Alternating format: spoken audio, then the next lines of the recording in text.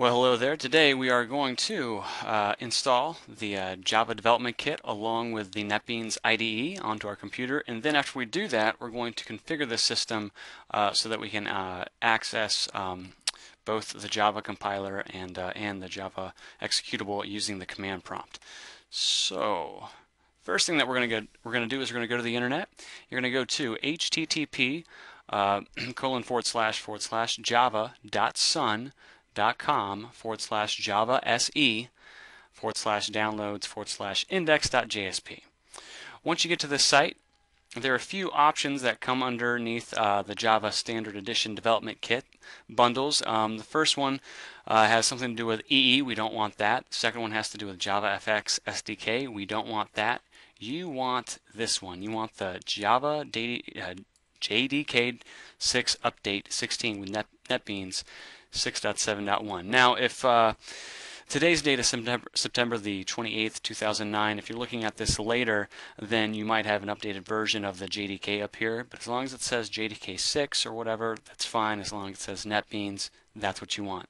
So you're going to come over here, click Download. Once you go to download, uh, it'll give you an option for platform. We want Windows because uh, we're on Windows XP on this computer. You want continue. You want to click on skip this step. So you might see something like this. We'll say download file. And we're going to go ahead and we're going to click on save. And we want to save this to our desktop. And it might take a, a while. Uh, it is 135 uh, megabytes. So once you finish downloading that, that file, uh, it is an executable so you can just double click on it, click on run, and it will go ahead and it'll say configuring the installer. You'll eventually see this uh, window right here. Welcome to the JDK 6 Update 16 NetBeans IDE 6.71 installer. Just go ahead and click next. Notice it's going to need about 500 megabytes of uh, hard drive space. Yes, I accept the terms. And click next. Install JDK 2. Please select this default. It's C program files java jdk 1.6.0 underscore 16 so you'll click next and then you'll see this. Install the NetBeans IDE 2 go ahead and select this default and select this default as well. And then click next and you should be ready to install. So once you're done installing we're just going to click yes uh, to the cancel for this because I've already installed it in this computer. Uh, you should have a NetBeans IDE uh, icon on your desktop. So that portion of the uh, install process um, to use Java on your computer is done. So the next portion is uh, that we're going to do is we're going to set up our system so that we can use the command prompt to uh, to access um, the uh, Java executables. And to do that, you do the following.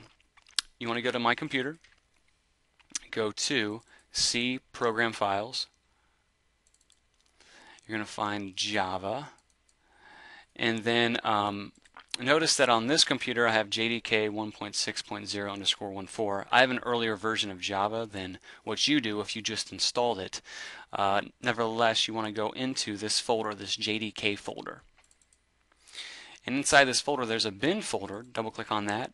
Notice inside this bin folder that there are two very important executables. There's the Java executable and there's the Java compiler, javac.exe executable. We want our command prompt to have access to this folder, this directory right here, uh, at any time. So to do that, we're going to highlight this path, we're going to copy it, and then we're going to go to Start. I'm going to go to My Computer, right click, go to Properties. Once this comes up, you're going to go to the Advanced tab.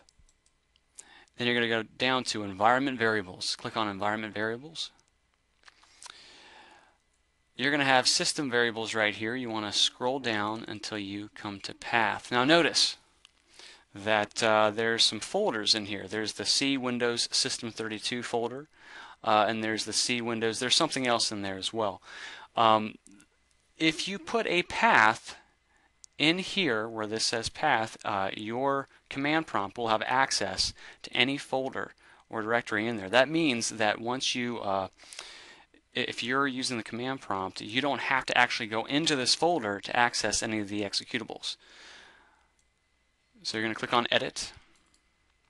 And notice that there's a bunch of stuff in here. You want to leave that alone. You're going to go to the very, very end of this, and you're going to press semicolon, and then you're going to paste the path in there.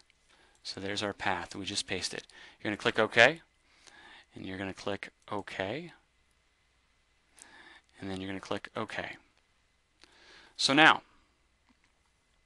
if I go into Start, if I use command prompt, if I type um, Java, I should get a bunch of weird stuff that comes up. And this is this just means that I, I was able to execute the program, but I didn't do it right because it, it needed some more commands. But this is great because notice that right now I'm in the Documents and Settings folder. I'm not in this particular folder right here. And yet I can still access um, the Java executable.